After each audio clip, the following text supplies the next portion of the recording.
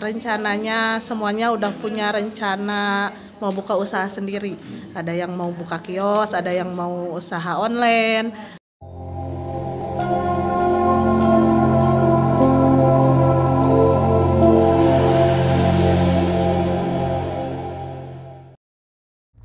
Dinas Tenaga Kerja dan Transmigrasi Kabupaten Sumedang memberikan kegiatan pelatihan di tiga lembaga yang ditunjuknya sebagai tempat pelatihan program peningkatan kualitas dan produktivitas tenaga kerja tahun anggaran 2019.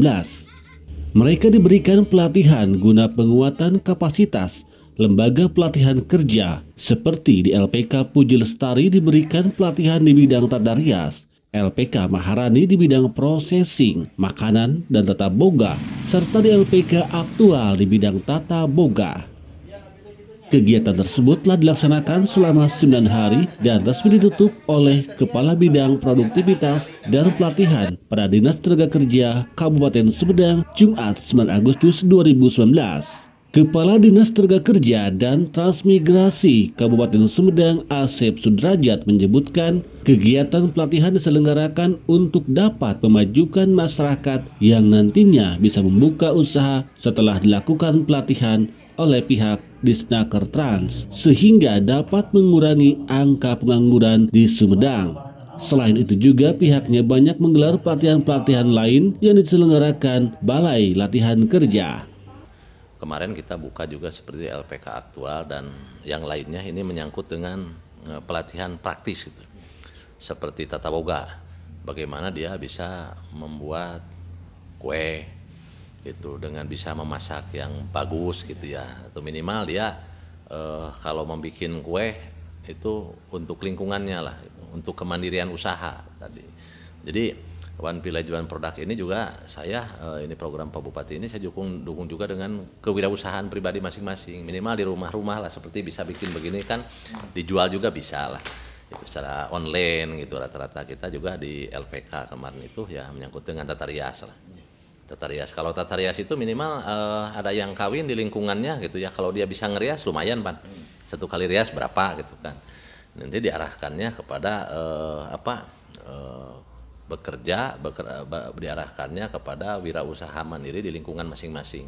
Seperti tadi Pak Iwan mengatakan di Rancakalong juga sama olahan tepung singkong gitu kan terus macam-macam lah banyak. Ada yang personal berkaitan dengan menjahit. BLK saja kita dapat bantuan pusat itu puluhan paket yang dilatih itu untuk tahun sekarang itu 2.500 orang.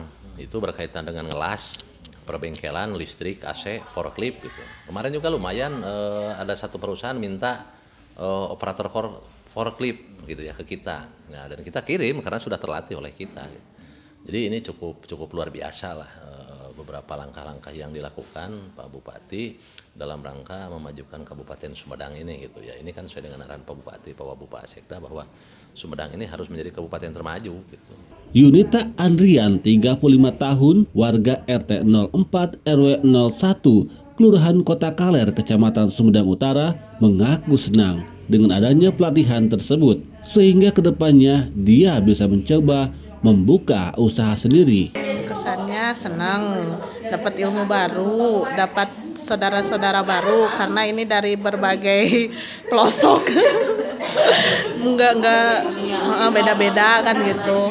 Ya habis dapat ilmu kan nanti kita bisa mengembangkan ilmu yang kemarin kita pelajari selama 9 hari. Mudah-mudahan kita bisa buka usaha sendiri gitu. Amin dari 9 hari itu sudah bisa apa aja? Sudah bisa apa aja?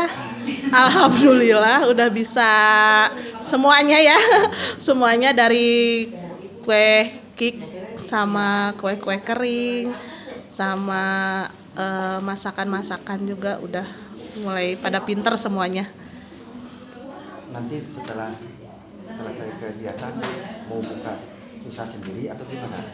Iya, insya Allah kita rencananya semuanya udah punya rencana mau buka usaha sendiri.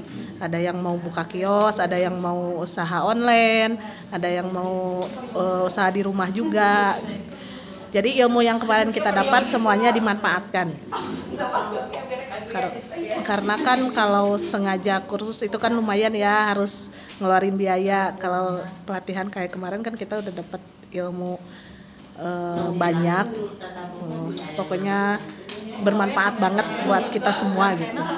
Uh, di apa ya pelatihan seperti ini diperbanyak gitu soalnya bisa bermanfaat juga buat ibu-ibu rumah tangga yang daripada diem di rumah aja gitu kan bisa berkreasi bisa sambil ngurus anak tapi bisa berkreasi juga bisa berusaha juga gitu bisa wirausaha juga gitu kan.